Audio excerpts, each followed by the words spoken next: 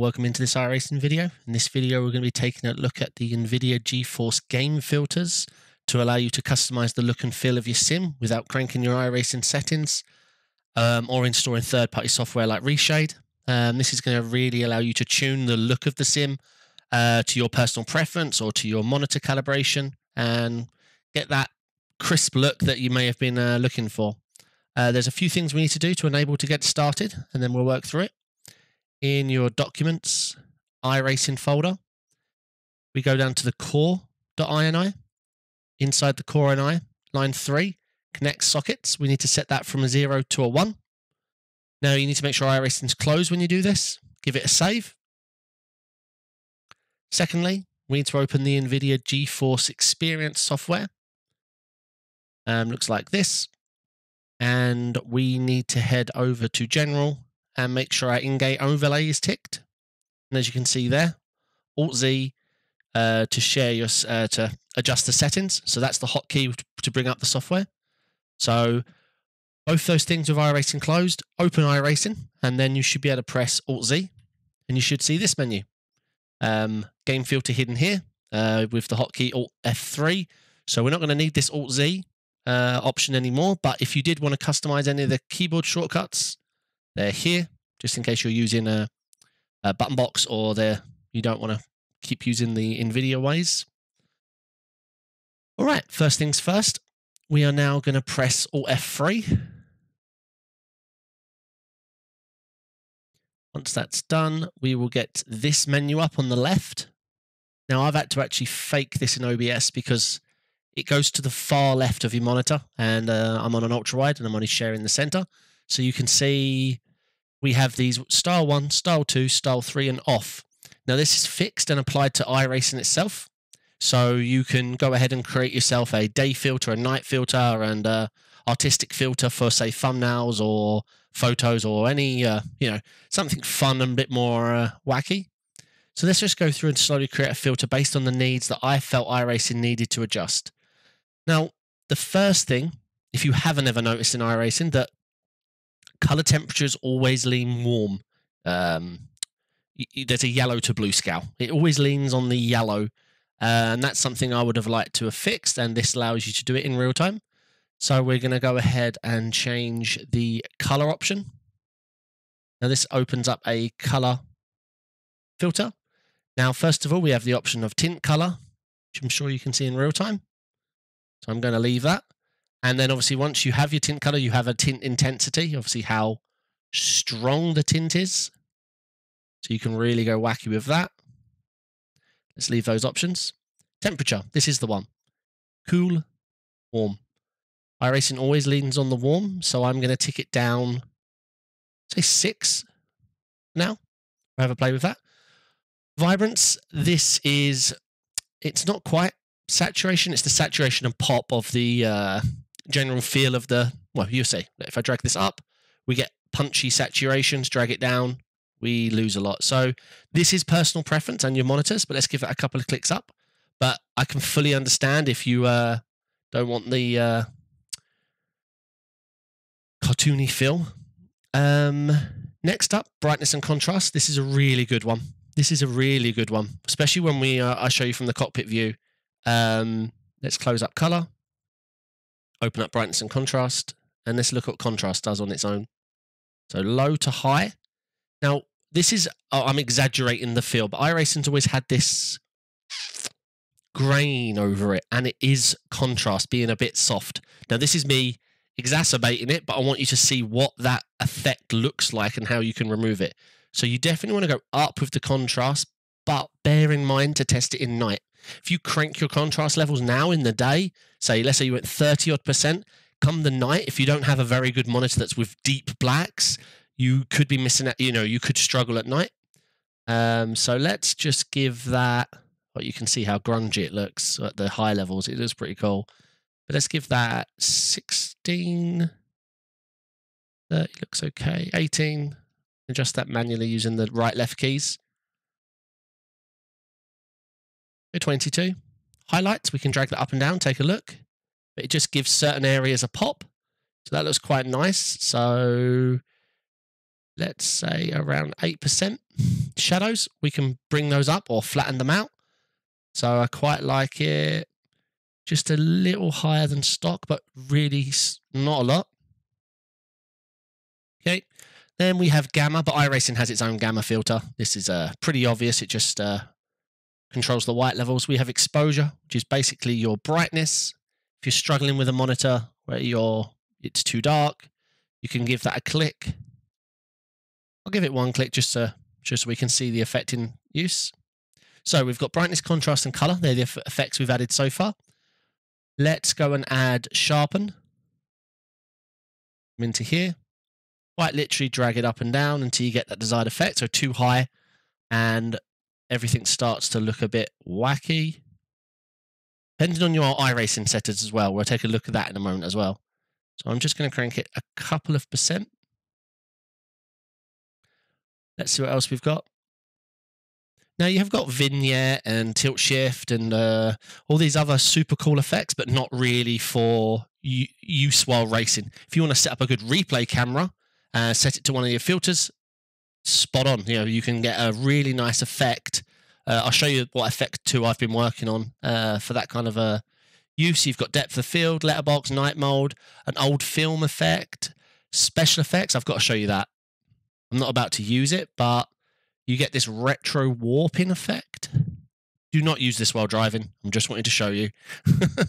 Half tone, once again, do not use this while driving. I just wanted to show you the kind of effects you can pull off. And sepia, you're not going to want uh, to use while racing. Once again, let's delete that. Okay, so let's take a look at this filter on and off. So off, this is a filter that we've just built, applied, off, on. Let's compare it to the one I built earlier. Yeah, I quite like the one we just built. So we hit done in the bottom left. Hide that. Okay, so let's go cockpit cam. And let's turn the effects on and off here. So this is off, on, off, on. And what I'm going to do now, bear with me and I'll show you what I'm going to do. I'm going to add a split screen effect. So it's dead down the middle. So let's just bring that right to left just so you can see. There you go. You can see exactly the effect we've created. So if I get it somewhere halfway between that car in front of us, we can see the whites are popping more. The yellowy feel, that yellow grainy feel that iRacing applies, we've definitely removed. Now, maybe it's a little bit too saturated, but that was the um, where was we in color vibrance? Once again, this is it can make it a little cartoony, but as you can see, we're only affecting the right hand side now. And we could make it a little brighter. But once again, it really depends on your monitor and your needs.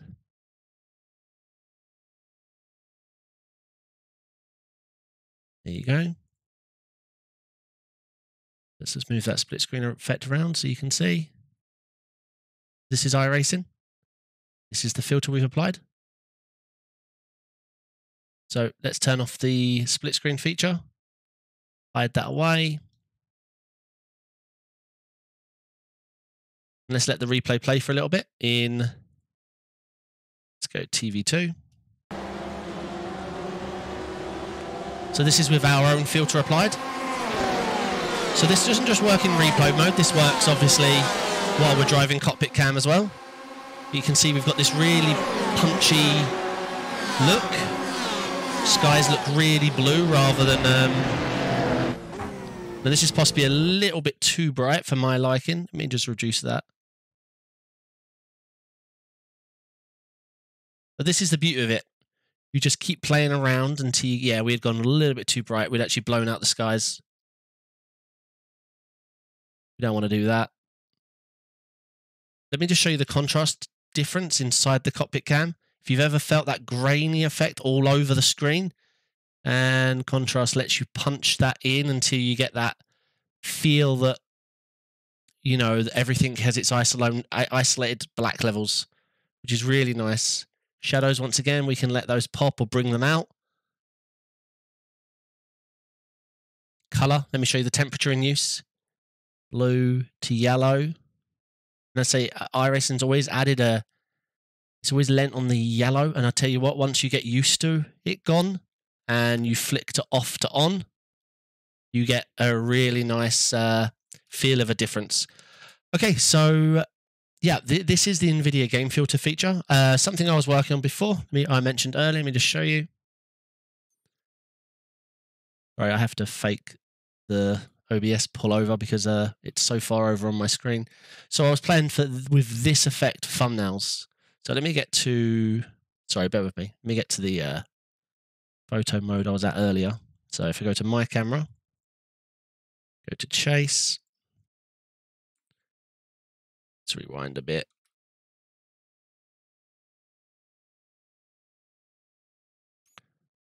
Um, and I'll show you some of my uh, replay settings to pull off this nicer effect as well. Where were we? Yeah, this is looking good. That'll do. Okay, so one thing in the replay settings, now you will have to restart iRacing to pull this off. But if I untick the DO depth of field effect, you can see iRacing's gone very static and flat. There's no motion left in the scene. So this is a good effect if you are looking to uh, enhance your replay mode. Depth of field. Now we can uh, adjust that amount of bokeh with the aperture. So if we bring the aperture a little higher, you see we uh, start moving towards, see, that's a bit too much. There you go. So we start moving towards that feeling of what's in motion and what's closest to the camera mixing this with a new filter I just applied. I'll show you now. This is something I've been working on for thumbnails. I've hued it orange. Oh, let me get rid of the... Uh... Yeah, I added this orange hue, uh, much grainier, deeper effect. This is something I've been working on just for my YouTube thumbnails. And then obviously something we worked on. And if I turn off the effect completely, you can see we lean back towards the yellows. So if you apply a filter. Let's say I click on filter three and I hit done. Next time we fire up iRacing, NVIDIA is going to load this filter in for us. And whether we're driving, it doesn't matter if you're in replay mode or in the race, you just jump into your car, start setting some laps, and uh, this is the look and feel you can get. So let's get down the straight. Stay behind the safety car in the right One column. thing I wanted to show you, let's go to a car further back. With these effects that you're actually adding, Right, let's change to chase camera. Well, far chase we've customized the hell out of. With the some of the adjustments we've been making, you can actually clear up that uh, smoggy, rough effect that iRacing gives to the uh, information in the distance. Let me show you what I mean. Hopefully it comes up well in here. If we turn it off, um, I think it's in the sharpness layer. Let me just add the sharpness all by itself me delete brightness, delete color, into the sharpness. We can, it really depends on your monitor. It's not showing up great on OBS. This is the issue.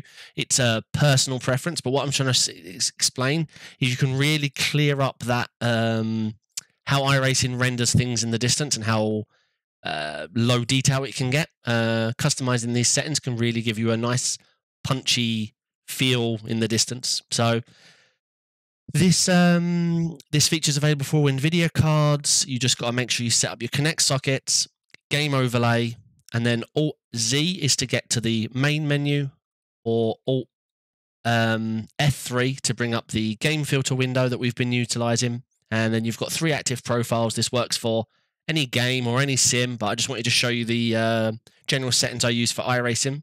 So um, some facts to remember and keep in mind iRacing always leans towards the yellow hues. Uh, colors, it really depends if you know you want to go for that ACC look or you want to go for more photorealistic. It lets you truly customize the direction you want to go. Uh, being able to bring out the contrast or the shadows is really have a play with that. You'll be pretty impressed at what you can do.